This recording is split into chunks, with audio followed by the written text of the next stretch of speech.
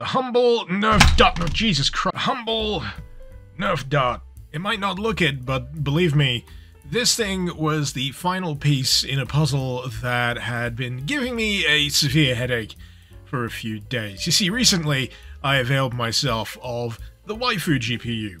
I was very excited to take ownership of it, and as luck would have it, it was too big to fit in the old PC case. Apparently, I could have taken out a few of the hard drive caddies that are part of the frame, but that seemed like too much effort for me. Enter the Lian Li Lancool 2. As it happens, an absolute pig of a case to build in in comparison to my previous machine, and led to a few hairy moments during the process of transplanting all of the hardware from the old PC into its new home. Chief amongst which being the fact that I managed to snap a few motherboard pins related to the front USB inputs. Thankfully, not the main USB C input.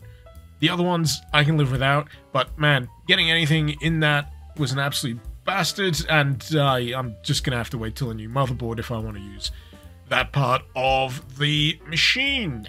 Oh well.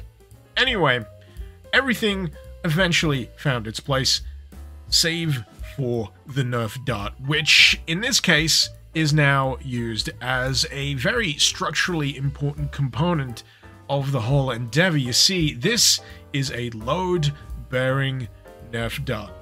I'm sure you're all aware of the phenomenon known as GPU sag. It's certainly more prevalent these days as cards get bigger and chunkier.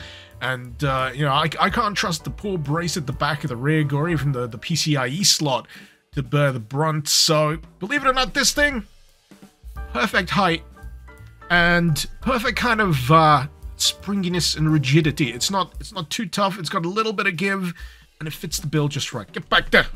Now this is all well and good, but naturally a few of you must be thinking, gee, Icarus, that sure is a nice waifu-powered rig you've slapped together there. What are you going to use it to play? Uh, yeah, Doom. Largely Doom.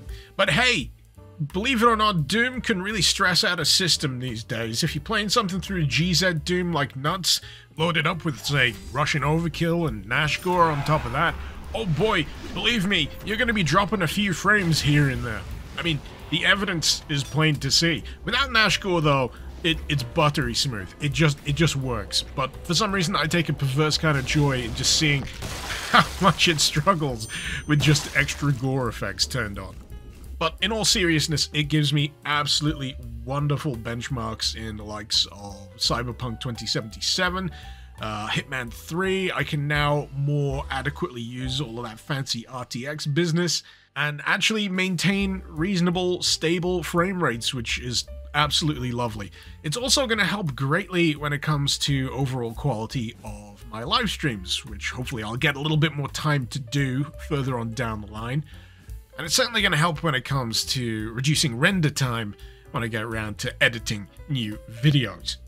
But in any case, thank you for joining me on this little side quest, whatever you want to call it, this effort to upgrade my setup and desperately justify the exorbitant amount of money I've spent in the process of doing so.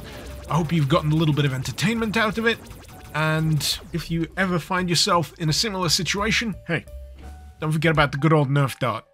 Until next time, Icarus out.